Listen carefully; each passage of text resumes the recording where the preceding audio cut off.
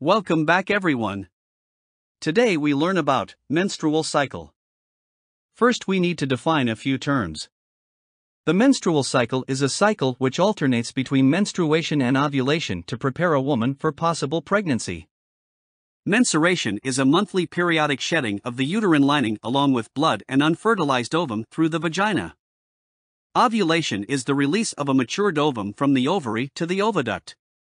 The fertile period is the duration in the menstrual cycle when sexual intercourse will likely result in pregnancy. It is day 11 to 17 of the menstrual cycle. Fertilization is the process whereby the nucleus of the male gamete fuses with the nucleus of the female gamete to form a zygote, and this occurs in the oviduct. Implantation is the process whereby a ball of cells, which is the result of cell division of zygote, embeds itself in the uterine lining, forming the placenta to obtain maternal nourishment for growth. This process occurs in the uterus. Here is a general outline of the menstrual cycle. From day 1 to 5, menstruation occurs. From day 6 to 13, the uterine lining repairs itself. On day 14, ovulation occurs. From day 11 to 17, it is the fertile period whereby possible fertilization might occur. From day 22 to 25 is when the uterine lining is at its thickest as it prepares for possible implantation. On day 28, the estrogen and progesterone level plunges if fertilization and implantation didn't occur. The uterine lining can no longer be maintained and starts to shed the next day, which marks day 1 of the next menstrual cycle. Now let's look at the effects of estrogen and progesterone on uterine lining and its levels during the menstrual cycle. From day 1 to 5 low levels of both estrogen and progesterone causes menstruation due to the absence of progesterone to maintain the uterine lining. From day 6 to 13 there is increasing level of estrogen to stimulate the repair of uterine lining, causing it to thicken at a very high rate.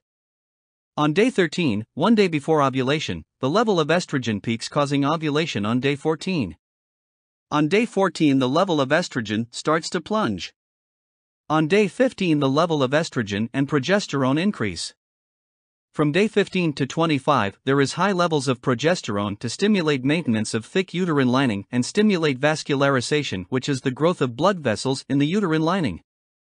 From day 22 to 25, the levels of estrogen and progesterone peaks, causing uterine lining to be at its thickest, to get ready for implantation. From day 25 to 28, if there is no implantation, the levels of estrogen and progesterone start to decrease.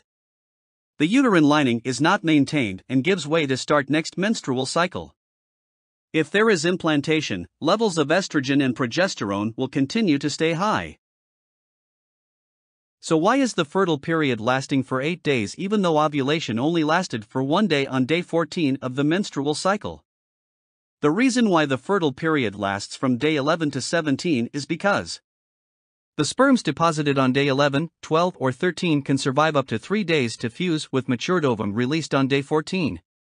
The ovum released on day 14 can remain viable for up to 24 to 36 hours, allowing fertilization to occur even when sperms were deposited on day 14, 15, or 16. Additionally, the release of ovum may sometimes be later by one day, extending the fertile period to day 17. That's all for today. Thank you for the effort to learn with me. Stay tuned for more interesting lessons. See you next time. Bye bye.